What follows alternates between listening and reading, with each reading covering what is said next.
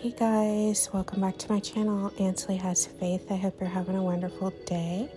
So today we're seeing a new, two new collections from Victoria's Secret. The first one has this one, which is Candy Hearts, which sounds amazing. It's the body cream. This is the body mist. And I'm hoping my store has these so I could try them and give you guys a review but the scent notes are fresh baked macarons and sugared berries.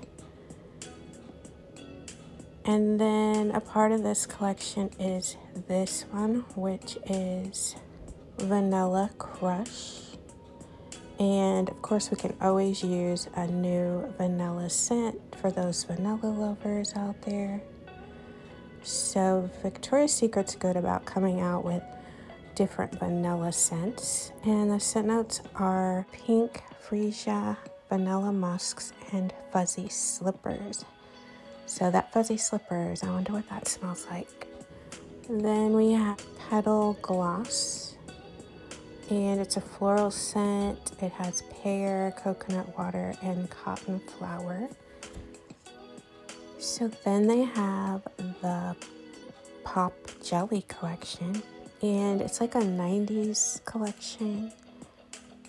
And like yeah 90s mix of vanilla and jelly sparkle with bubble gum pop. And then we have this one which is fresh and clean pop jelly.